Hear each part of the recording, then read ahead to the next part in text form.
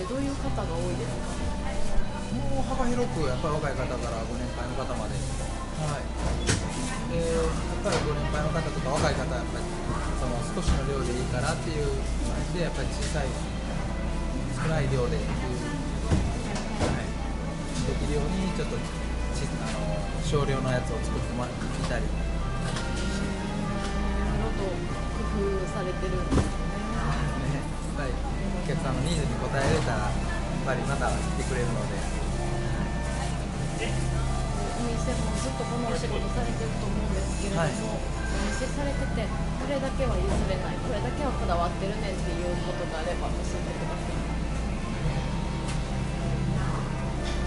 にもこだわってない。んですけど、まあもちろん安さととい。うか新しさとかってい。うのはやっぱり心がけるようにはしてますけど、はい、新鮮なものってい。う